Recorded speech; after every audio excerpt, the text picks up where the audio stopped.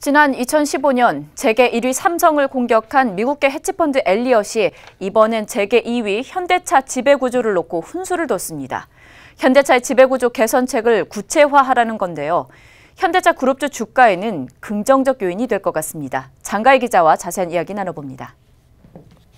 네, 장 기자. 어제였습니다. 엘리엇이 다시 등장했는데 그 의도가 뭡니까?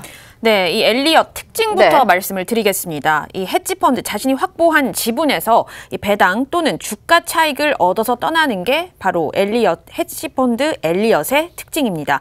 음. 행동주의 투자자라는 별칭을 갖고 있는 엘리엇, 현대차, 기아차, 현대모비스 세 곳의 지분 1조 500원 어치를 사들였습니다. 이 지분을 샀다는 건 수익을 제대로 내보겠다는 겁니다. 음, 결국은 엘리엇이 원하는 바가 뭔가요? 네, 네. 이 엘리엇은 어제 이 현대차 현대차가 기업 지배 구조 개선을 위한 첫 발자국을 떼었다. 이렇게 긍정적으로 평가하면서도 각 회사와 주주들에게 이익이 도가, 돌아가도록 추가적인 조치가 필요하다. 이렇게 말했습니다. 이 엘리엇은 현대차 그룹은 각 계열사의 기업 지배구조 개선, 재무 상태 최적화, 자본 수익률 향상 방안에 대해서 구체적인 로드맵을 제시하라. 이렇게 전했습니다. 어, 이 시점에서 궁금해지는 것이 엘리엇이 가진 지분인데 어느 정도 됩니까? 네, 아까 네. 말씀드렸듯이 1조 500억 원 정도 갖고 있는데요. 네. 이것을 단순히 계산하면 현대차, 기아차 그리고 모비스 시총이 모두 73조 5천억 원 정도 되니까 각 계열사 지분이 1.36% 정도 되는 겁니다. 네. 이 별로 크지 않습니다. 이 때문에 엘리엇 같은 행동주의 펀드는 다른 외국인 주주, 이 소액 주주를 자신의 편으로 끌어들여서 함께 원하는 것을 얻으려는 의도로 비춰집니다. 어, 1차 목표는 목표는 주가 띄우기인데요. 아까 말씀드렸듯이 벌써 어제 하루 이 삼형제 주가 다 뛰었습니다. 네.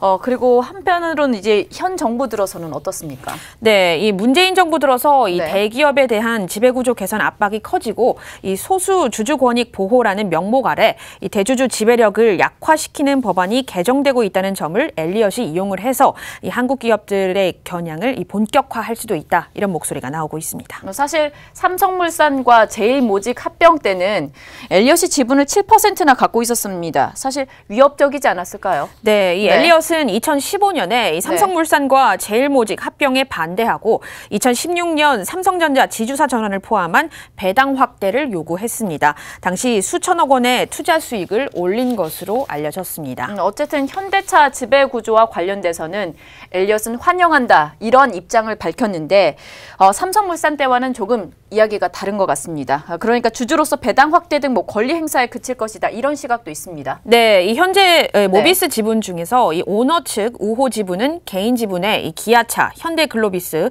현대제철 지분을 더해서 이 30% 정도고 외국인 지분이 48%라서 이 엘리엇이 주주 가치에 도움이 안 된다는 이유로 이유로 이 분할에 반대하고 이 여기에 외국인 투자자나 기관 투자자가 동조하면 분할이 무산될 수도 있습니다. 일각에서도 이 현대모비스 분할이 기업 가치 제고보다는 네. 이정 회장 부자의 이 그룹 지배력 확보에 초점을 맞춘 전략이다 이런 지적이 있고. 있고요.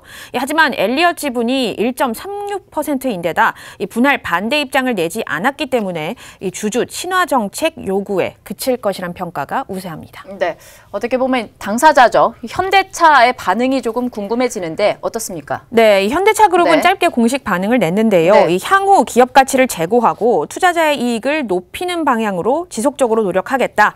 국내외 주주들과 소통하겠다. 이 정도였습니다. 음, 오늘 최종국 금융위원장이 어, 엘리엇 입장에 대해서 견해를 좀 나타냈습니다. 어떤 입장이었습니까? 네, 이 최종국 네. 금융위원장은 여러 가지 면에서 너무 민감하게 반응할 필요는 없다 이런 네. 입장을 냈습니다. 이최 위원장은 현재 그들이 가지고 있다고 밝힌 지분이 어느 정도 의미 있는 영향이 있을지는 잘 모르겠다면서 이 자본시장에서 주주 제한 같은 것은 흔한 일이다 이렇게 언급을 했고요. 우리나라 대기업들이 그간 삼성과 엘리엇 간 분쟁을 통해서 여러 교훈을 많이 얻었을 것이라 생각한다면서 이번 일이 어떻게 전개될지는 모르겠지만 외국인 투자자라고 해서 다 성격이 같고 같은 방향으로 움직이는 것만은 아니다. 이렇게 강조했습니다. 네. 이번에는 현대차를 향한 엘리엇의 기침, 어떠한 방향성을 이어나가게 될지 조금 더 살펴보도록 하겠습니다. 지금까지 장가희 기자였습니다.